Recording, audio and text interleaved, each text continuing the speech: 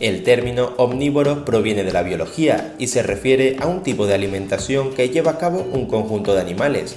Se trata de todos aquellos seres que se pueden alimentar de toda clase de sustancias orgánicas, o lo que es lo mismo, pueden comer tanto vegetales como a otros animales. Un ejemplo de omnívoro puede ser un perro, un cerdo o el caso del ser humano. Los omnívoros son posiblemente el grupo animal más desarrollado en cuanto a su alimentación, ya que esta es muy diversificada y tiene un menor riesgo de sufrir hambruna o competencia por parte del resto de organismos. Por tanto, son los seres que mayor facilidad tienen para colonizar nuevos territorios sin sufrir grandes consecuencias.